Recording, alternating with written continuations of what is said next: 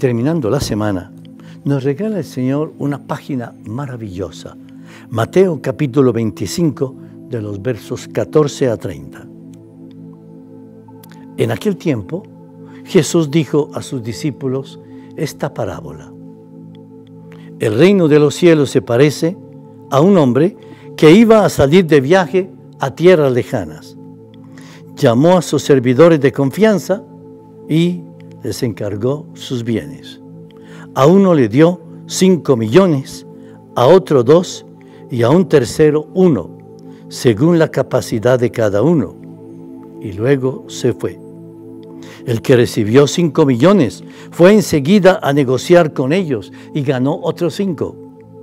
El que recibió dos hizo lo mismo y ganó otros dos. En cambio, el que recibió un millón hizo un hoyo en la tierra y allí escondió el dinero de su señor.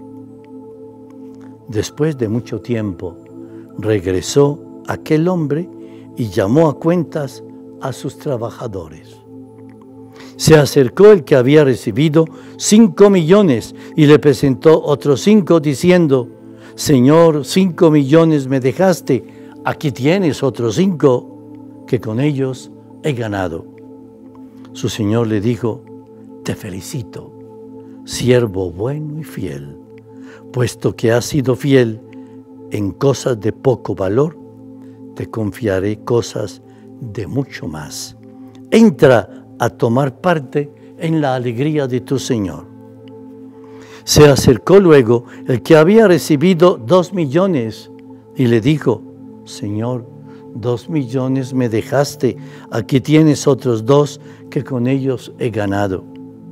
Su amo le dijo, te felicito, siervo bueno y fiel, puesto que has sido fiel en cosas de poco valor, te confiaré unas de mucho valor. Entra a tomar parte en la alegría de tu Señor. Finalmente se acercó el que había recibido un millón y le dijo, Señor, yo sabía que eres un hombre duro, que quieres cosechar lo que no has plantado y recoger lo que no has sembrado.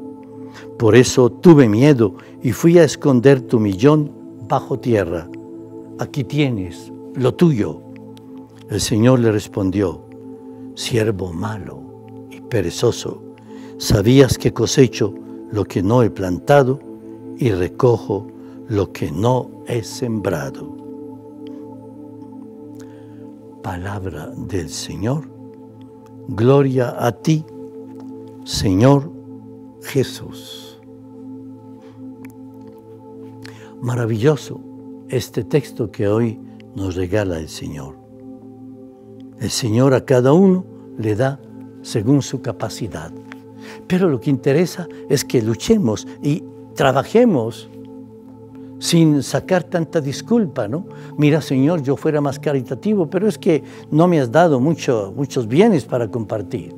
Señor, yo quisiera ir por todas partes a anunciarte, pero es que mi salud es tan endeble.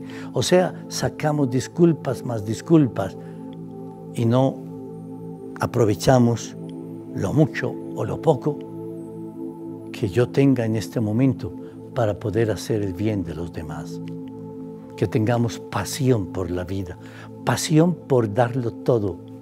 Poco o mucho lo doy con amor y con entusiasmo. de, trataré de hacer siempre el bien a los demás. Es lo que aprovechó San Agustín. Cuando San Agustín comprendió que él había recibido mucho, pero que no estaba dando nada, él da un cambio a su vida. Que nosotros, Señor, como San Agustín, nos convirtamos a ti. Comprendamos que podemos dar mucho, aún desde nuestra poquedad, desde nuestra pequeñez, desde nuestras debilidades. Danos la fuerza y el amor de Agustín de Hipona para convertirnos a ti y ser aquellos que demos el bien a los demás. El Señor nos bendiga y nos proteja.